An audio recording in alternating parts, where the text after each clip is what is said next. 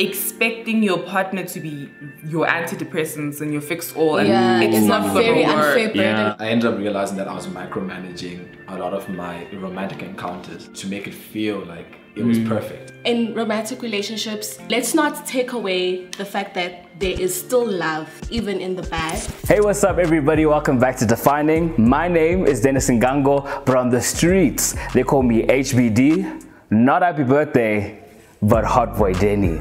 In this video, we're bringing back Defining Conversations, where my friends and I unpack some really important topics. This week, we're keeping it close to home, and we're talking about love.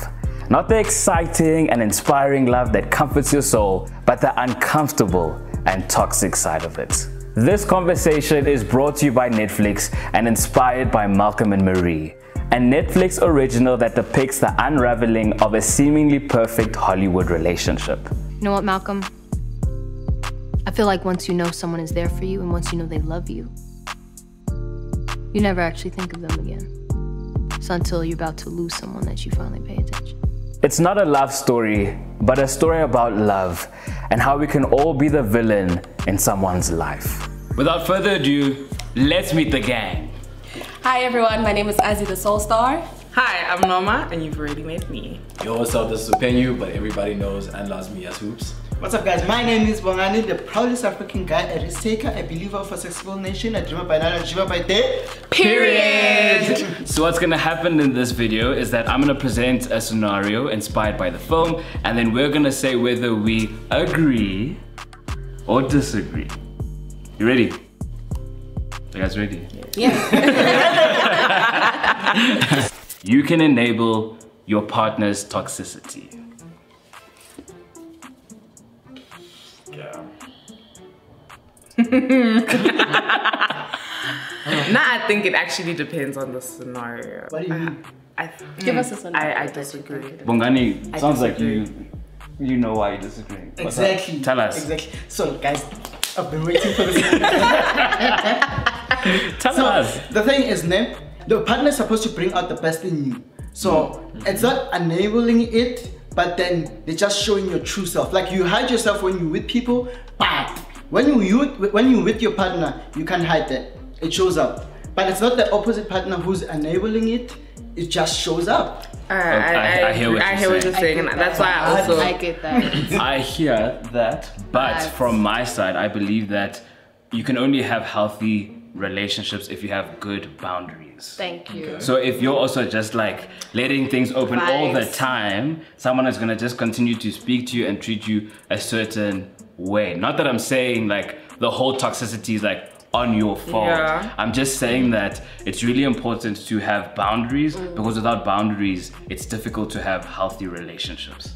I, I okay, I get that, but I think it's tricky also because some people are still learning to set boundaries, and I think for me, when I hear enabling, I'm hearing like actively working mm. too. So then that's what it makes me think of that like you're actually actively working towards enabling the toxicity of your partner. You know, you like you're allowing it Yeah. kind of to happen, and I don't think that that's the case. That's why I'm disagreeing. in my defense in this case, ne, I'm gonna make a reference to the movie, ne? Yeah. Like they know each other, they know each other's weaknesses, they know how toxic they are. And it's not that you're enabling it, but then you know it's there. It's just that sometimes it can go to a level where you didn't expect that to reach. That's why, like, even the whole movie when it goes out, the arguments that are there, you can see how creative they become in their arguments. It becomes a norm that they being the way they argue so much that they become creative. Yeah. And who wins? You want control because you can't imagine the reason I'm with you is because I love you. That's a very good question. Like when there's toxicity in the relationship, is anyone even really winning? No one is No, no one winning. is winning. I think for me, it's it's a lot about the context, right? Yeah. Like Dennis said, on one side, it's uh, is it the way that you're setting your boundaries, right? Is it something mm. that you are not doing as a person to ensure that that person is not toxic to you? Mm-hmm. Then there's Noma's side of saying that, okay, cool. Is this something that you are specifically doing that's in like that's sort of awakening a toxicity in someone else? Mm-hmm. So I was on Noma's side and saying that I don't think that can happen because at the end of the day, it's like it's a character trait. That means Yeah. been there already. Mm, yeah, Yeah. facts, True, facts. you I That's mean? true. So, Yeah. but then on the dinner side as well, it does make sense in saying that, okay, cool. yeah, there are certain boundaries and certain things that you have to be vocal about to ensure that your partner Yeah. knows Yeah. that hey, what you're doing is toxic for me. Because in the day, like we are complex, so there's gonna be differences of toxicity. Yeah. Maybe the way that we chat, like I might just be teasing you, right? And it's just a normal thing with other couples, but someone else be like that's toxic. Yeah. Yeah. So mm. Mm. honestly, it's a context matter, but I'm I'm gonna have to yeah, Yeah. stay, stay with it. Yeah, that's why I was, nail. also I get that. That's why I was saying also like it it, It really depends. Context. Yeah, Yeah. There's context so really much context important. in this thing, but yeah. Reminding your partner about the ways you've helped them. What about it? It is toxic. Is it It's toxic, toxic. or nah? Yeah. Oh. Nah. Unanimous. I mean, Oh, yeah, oh, you know. Oh, we all agree. okay. yeah.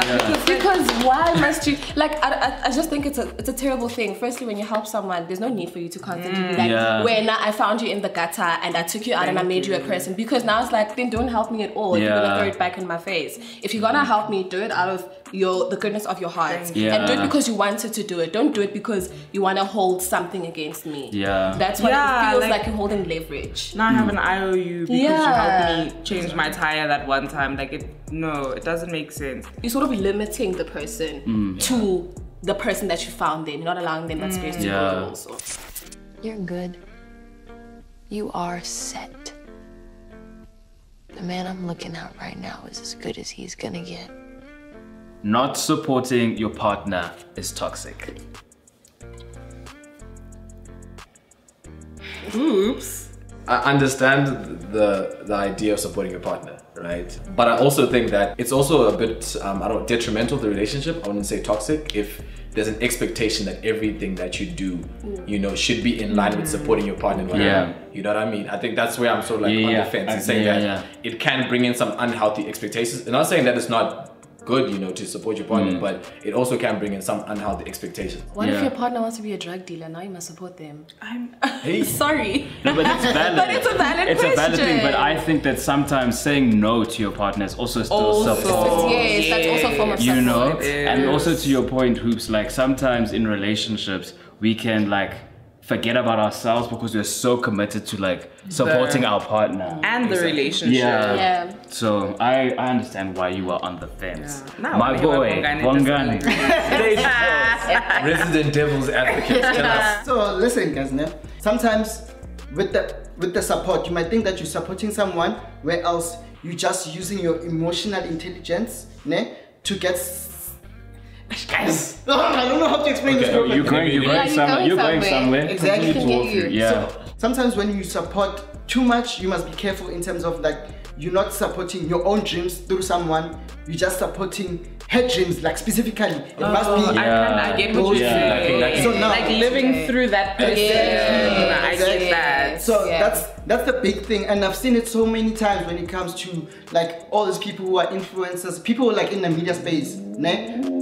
Guys, like serious, oh, like Yeah. I, I've seen it happen so many times, ne? And it's it's such a distraction for me. Like I end up not supporting you because I know this is not your dream. I like like a lot of DBN Gogo, ne? She comes up as a DJ, not because she she has a famous father, ah. ne? Yeah. She comes up as herself. Mm. We didn't say okay because she's famous we're gonna support her. Mm. So Yeah. your partner must support you when it's your dream. That's a form of projection also. Mm. So that's like it's it's you now, you projecting whatever you want Yeah. onto your partner and you make it a thing of it's us because I need to when you with your partner you are a unit. So you mm. now you mask it with the whole but it's an us thing. Yeah, I it's helped you our get the dream. gig. I- I, helped you we- get you your know? you know Yeah. and then we forget that we are also individuals within the relationship. Mm. So the projection becomes very easy in the guise of Hela. In the in the guise of support. Exactly. So Yeah. I think support can you're right. sup- Support can be toxic. yeah. It, it depends how you give your support also, I guess. all right the last scenario are you responsible for your partner's mental health You know, Marie, you are genuinely unstable. I'm not kidding. Hmm. Hmm. I'm actually concerned for your mental well being. a big one. Give me times two. Yeah, what, mm, Is this, I'm, is in, this- I'm on the fence. I'm on the fence too. I'm on the fence fence. too. Is it like a young? Hoops. Is it like a young? Bottom me, bottom hoops. Degree, Yeah, I'm. degree I'm fence. The reason why I'm on the fence now is that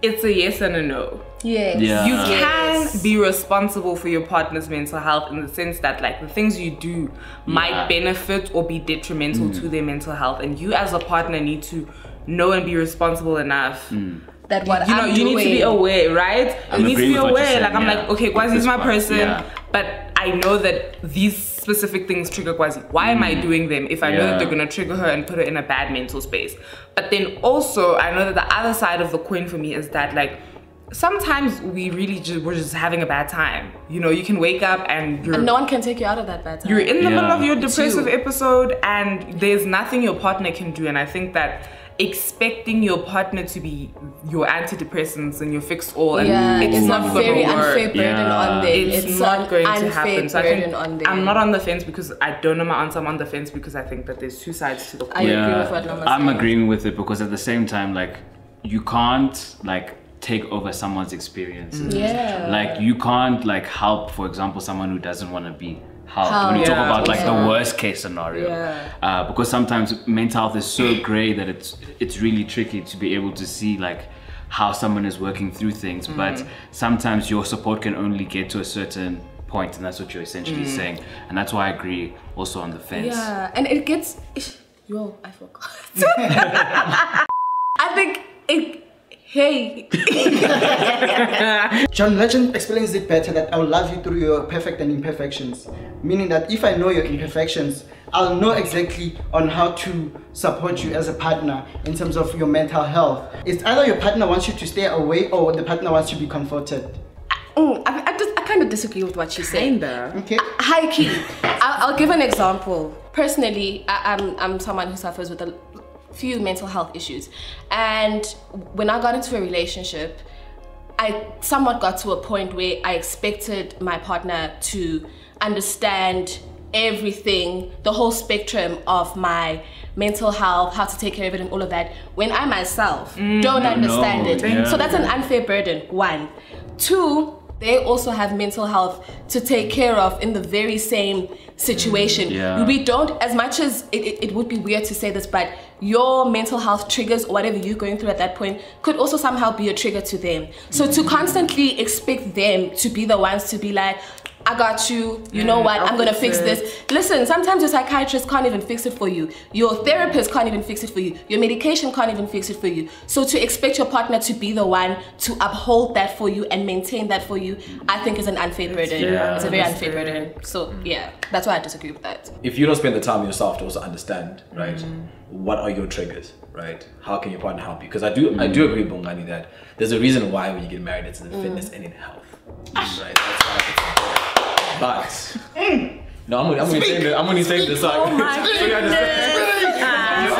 You're saying the positive before the, the kick comes in, yeah. However, right? Ah, how can you help someone if they don't even know how to help themselves? What is what they actually wrong? with? Period. What you're saying is correct. Like, don't get twisted, right? Yeah, I definitely do agree yeah. with that. Yes, like you have to be there You for your need to- yeah. But at the end of the day, it's like don't put those unnecessary expectations to Yeah. be like, yo, you must heal this whole thing because you also don't know. You're probably even unqualified for it. There's even a big reason why people say that you should not get married. You should not take your problems to your like your husband or your wife should not be your own therapist. There's a specific Yeah. reason for that.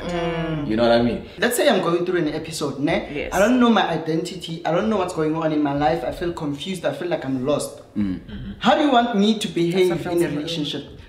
Uh, but you can't. That's that's a. I think that's a bit vague. You can't say how do you want me to act. I Like, need you. I fake, need but you. then this I is what need we go through Let me tell every you. Now let me tell you, Kheshab. I need you as my partner to one love me through all of that because. I might be ugly to you. I might not want to talk to you. And I need you to know and understand that the things I'm saying or the way I'm acting or, you know, all of those things, they're not personal. Yeah, it's not about not you. about you. And I think that as soon as you make it your responsibility, you're making it about you. Yeah. Then you're not supporting Yo, me. then it's Yo, about you and how you yo, can how you can be a was better on- I was on the person in your own capacity. But are you actually helping the situation? No, No. you are not. Yeah. Everybody say yeah. Yeah. To wrap up the video, can everyone just share something that they've learned or understood about love that they later on realized was toxic? So I think that for me, it's the idea that your soulmate or the one or whatever you want to call it will intuit your spirit. Like they'll just know how to love you mm. and they'll know what you want and what you like and what you don't like. And I think that that's very unrealistic because even we have to learn about ourselves and we have to have discussions with ourselves to mm. realize what we like, what we prefer, what we don't like, what our boundaries are. And I think Yeah. that love needs to be a discussion. Mm-hmm. You need to actually openly talk and communicate about things and just assuming that your partner knows everything there is to know about you because they're the one. No. I'm gonna add on because it's pretty similar, but definitely that, definitely that. Yeah. And also that because you guys once loved each other or you love each other a certain way does not mean that now you must stay together forever.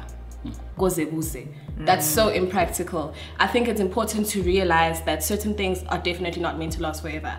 Things are like nothing lasts forever. The good doesn't last forever, the bad doesn't last forever either. And we need to realize that in relationships as well. Sometimes relationships are to teach you a certain thing about yourself, to teach you a certain thing about how you look at relationships and what it is you want out of relationships. Some relationships are just for fun, they're just for the hmm. fun of it. Some relationships are to show you the dark parts of you that you've been suppressing for so long. That's why people call them karmic relationships because hmm. that person is a, a shadow of who you are. And everything that they do, you see yourself in them and it starts bothering you so much and all those different stuff. So I think in romantic relationships, let's not take away the fact that there is still love, even in the bad. Even mm. in the separation, there is still love. Even in not wanting to maintain the relationship because it's not working anymore, there is still love even in mm. that. Just because someone wants to pull out or someone just thinks that it's just not gonna work in the long run, or whatever the reasons may be, it does not mean that what was shared is now immaterial. Yeah. It does not take away from that experience, nor does it take away from the feelings that existed and are still going to continue existing. So I think that's something that that I, I learned from that. Powerful. For me, it's the fairy tale idea of love. Yeah. That's something Yeah. that Yeah. I believe that's what kind of gave us this misconception of what love is. Mm. And I know for me, I fell victim for that properly, a whole clown on it. I ended up realizing that I was micromanaging a lot of my romantic encounters to make it feel like it was perfect instead Yeah. of realizing that love needs to be nurtured. You know, that love is a choice. yes. Yeah. And then the day that love is work. Yes, Mm. yo, yo. Yeah, for me that was definitely one of the, one of the biggest things. But for me, like just letting go of that instant gratification that you think love brings, and not realizing that yeah, man, Yeah. gotta cook, gotta be a slow cook. Okay, so for me, I think it's a famous saying that says, Nyala onyele. Oh. So it, it literally means that get married and then get fucked up. Literally. So that, that that is one saying that we've been taught as like growing up, especially if you're a guy and then especially those guys who go to the mountain, you know that they teach you such stuff. Mm. When- for me, it was so challenging to even make a decision to say, okay, cool, I want to get married, but I had no one to talk to. They believe when you get into marriage that you you get into this uh, prison that you're not allowed to do anything. The the whole dating thing pass, just passes away, nje. like everything just goes six feet under, and of which that's not true. And that's one thing I wished I could have learned at the younger stage because now that's one thing now I need to start learning from other people than the people that should be close and teaching me what what Yeah. marriage is. Yo, yeah. that's very, very Yo, powerful. yeah. Yeah, what I learned aligns with with hoops, but I think it's more of like an internal thing. I think when you experience like a lot of difficulties and trauma growing up, I think you create this narrative that um, love is perfect, and because I'm not perfect, I'm not worthy of it. And because of that, I've had to learn that at the end of the day, like nothing disqualifies you from love. Mm. Nothing Come on, disqualifies Sambori. you from like experiencing the great, exciting love that you sometimes get to see on this channel.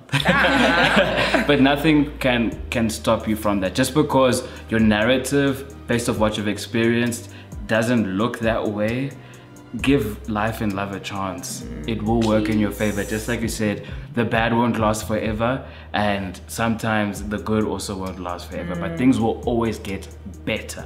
I think everybody really did everyone really did the most. I think if you really want context with regards to some of the things that we touched on, make sure to check out Malcolm and Marie right now on Netflix. In the meantime, what you can do is give this video a thumbs up. Number one, if you enjoyed it. And number two, give it a thumbs up if you want the gang and this concept, this segment to come back. So let us know and also let's continue the conversation about toxicity and how it relates to love in the comments section below. But anyway, from myself and the team, see you later. Bye. It's a wrap. It's a wrap. You know how Megan Thee Stallion like saying, "I'ma call y'all back," and then she I'ma call y'all back. I'ma call y'all back.